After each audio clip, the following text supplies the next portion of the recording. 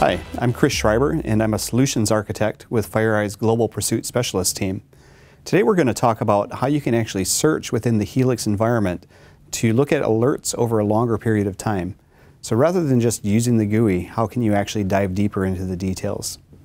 So when you first log into the Helix console, uh, you see a summary of recent alerts that have popped up within your environment.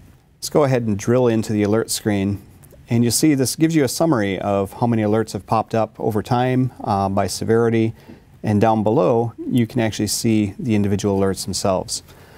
Now, what happens if you have a manager that wants you to give summaries about what types of alerts have been happening in your environment, or you need to go find a specific alert? There is a little bit of ability right within this screen to do searching and filtering. So you can filter based on criticality of the alert. You can search based on specific names right in the alert name itself. So for instance, if you're only looking for alerts that were generated from an Intel match on an FQDN name, you could actually filter right there in the screen to see the FQDN criteria. And when you mouse over, you can see which ones you can actually filter uh, right with this interface. So say, for instance, you're only interested in uh, this particular one right here that says AOLdaily.com.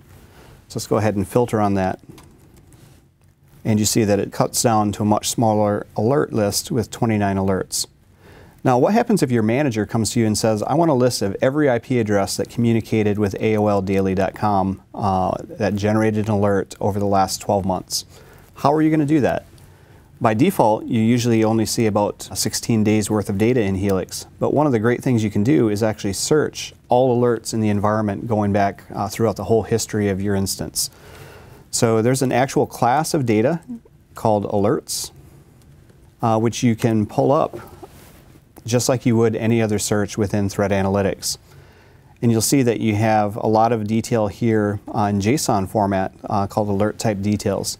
And this is where you can really start getting into detail of the alert. So one of the things that you can pull up is a JSON format where you can actually extend that and pull out individual elements and do a search on that. So let's do that here. Now you notice initially nothing came up, even though we know we just saw AOL Daily in the other screen. And that's because of the time window. So initially it was just searching in the last 24 hours. We can expand that out to the past week. And here you see all the hits that actually came up with AOLdaily.com. Now remember, your boss wanted you to pull up a longer duration. One of the cool things with alerts is they're maintained permanently rather than just for 16 days. So you can use a filter to actually go back further in time. You can say 12 months ago, and that will actually search through your entire history of alerts for all matches to that particular domain name. And you see now there's 184 matches that come up. Then to get your boss's report, where he wants to see what IP addresses were actually hit on, uh, you can do a group by. And here you see that over the last 12 months, there was only one IP address communicating with that particular domain. And you can even give them a nice little chart showing the history of that over time. So you see this fits a, a very typical beacon pattern.